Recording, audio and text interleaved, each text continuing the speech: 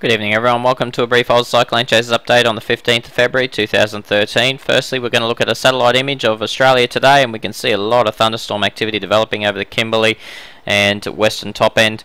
And look this is pretty well a precursor to what we normally expect just before an MJO uh, approaches Australia. So just before an active period of or an active monsoonal burst approaches Australia we start to see this uh, enhancement of thunderstorm activity over here in the northwest.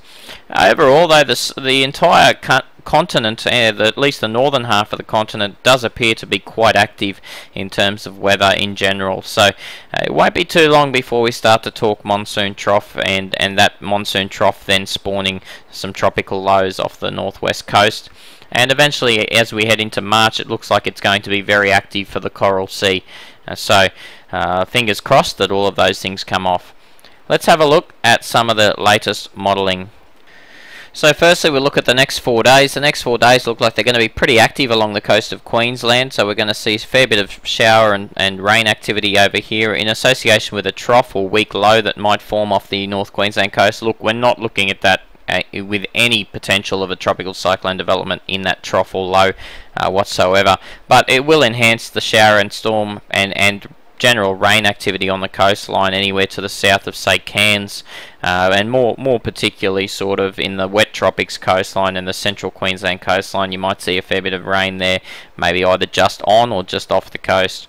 Extending inland a little bit uh, this shower activity turning into uh, isolated to scattered thunderstorm activity and also penetrating a little bit further south over central Queensland as well over the top end, we're continuing to see very active conditions over the next four days with 50 plus millimetres over the Kimberley and 25 to 50 mils expected over the western top end and also heading into the Pilbara as well.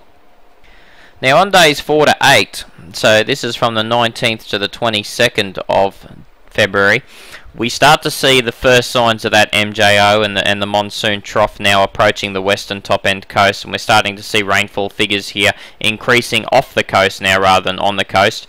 And we see that that's due to more than likely due to a northwest surge of the monsoon that's starting to push through on the uh, southeast Indian Ocean here.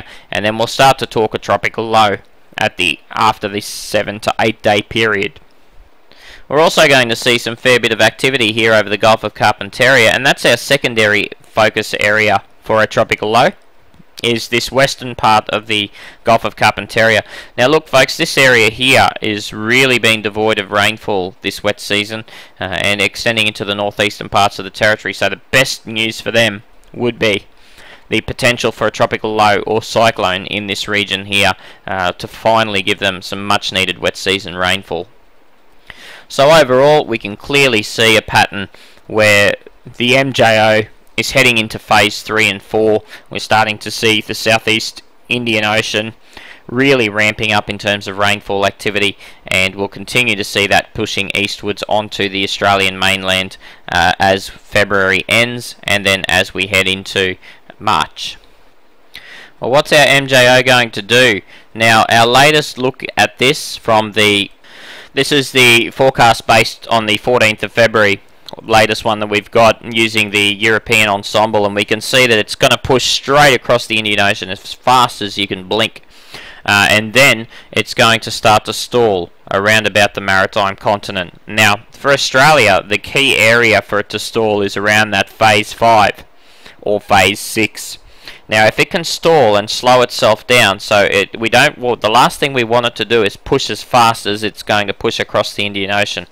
We want it to stall and slow as it gets into phase 5 and then phase 6 as well for Queensland particularly. But if it can stall in this region, we're going to see prolonged periods of uh, potentially heavy rainfall, increased cyclone potential, and this is taking us through to the last day of February we can see that it's just starting to get into phase 6 but it's really moving so slowly.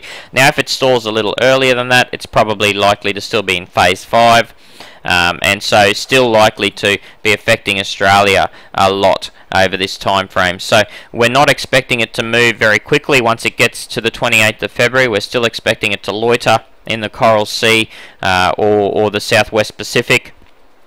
So we're looking at a prolonged period in Australia of moderate to heavy rainfall for the tropics and increased cyclogenesis as we head into March and even as far as mid-March at this point in time we're still looking at uh, fairly high potential for tropical cyclone development.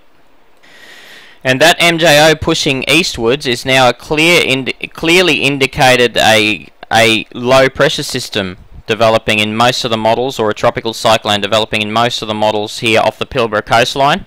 This is next Friday. This is the ensemble mean. So this is uh, overall what the ensemble members are suggesting and it's going to be a lot more accurate than looking at one particular model run. Now notice folks that as this low pressure develops here around my cursor there's also underneath it a fairly strong low pressure system and associated upper level trough that's pushing in through this area here. So if a low develops or cyclone develops in this area come come the end of next week, at this point in time its most likely movement will be towards the coastline. It won't shove off to the west.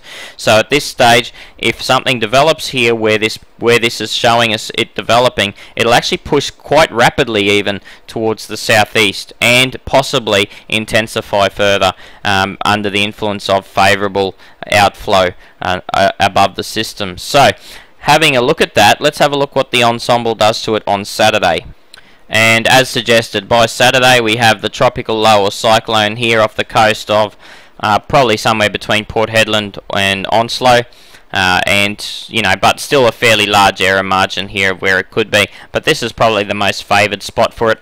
Now that upper level trough continues to push in through here. There is a ridge in behind it though, so if the low or cyclone doesn't make landfall, say by next Monday, uh, not not next Monday, sorry, the Monday after. Um, then the system might start to push back to the west. But by that stage, it should have already crossed the coast. As we head to next Sunday, we start to see that the modelling is suggesting that it's now just inland of the coast. Whatever lower cyclone was there is now just inland of the coast, probably south of Port. Um, and by day 10 and by day 10 we do start to see a lot more variance in the guidance. But overall general guidance suggests that if it has crossed the coast we now have a new ridge building underneath it and so that ridge will push the system in that direction there. Uh, back out to the west and back offshore. So if it does make landfall, there's a fairly decent chance that it might actually come back off the coast again after it makes landfall. So at this stage, we're not quite sure. Low or cyclone, the, the potential is probably 50-50, uh, but we are looking at particularly the Broome to Onslow region as the key area of interest at the moment over the next week to 10 days. After that, our next focus period becomes the Gulf of Carpentaria, and particularly so the western Gulf of Carpentaria, but uh, at this stage too far away to suggest movement. So with this system here in the in the Pilbara or off the Pilbara, we do expect it to push towards the coast. We do expect it to, if it does, if it does actually form, we do expect it to get close to at least making landfall, at least impacting enough if it doesn't make landfall to create an increase in rain and storm activity. The GFS ensemble isn't as bullish as the European and so it doesn't develop the low until Saturday, next Saturday, not this Saturday, next Saturday the 23rd of February. It develops it off the coast of the Kimberley and if we have a look there, they're also tipping this low uh, to, to be associated also with an upper level trough as well through Western Australia and with that happening it will push the system um, either to this south direction or the southeast direction um, as you see there. So it'll either push it southwards or southeastwards from that location. That ridge building in behind it isn't going to be strong enough to push it to the west and you can see by Sunday it definitely has pushed southeast and is now approaching the coast around Broome um, to Port Hedland. So a little bit further north than the European ensemble. You can see here very very clearly under the influence here of an upper level trough. Um, you could almost you could almost draw a dotted line in fact of where the trough line will be. And the system developing to uh, right along that trough line will continue to head in a southeast or south direction. And by Monday, the system uh, overall likely to have made landfall somewhere between Broome and Port.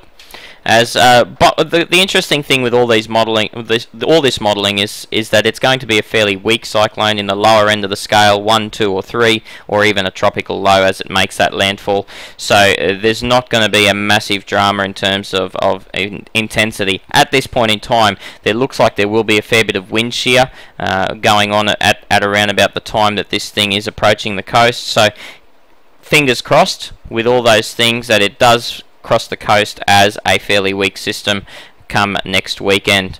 Uh, once again, though, we start to see model divergence by about day 10, and, and we expect that. That's 10 days out. It's very difficult for models to get it right for 10 days out.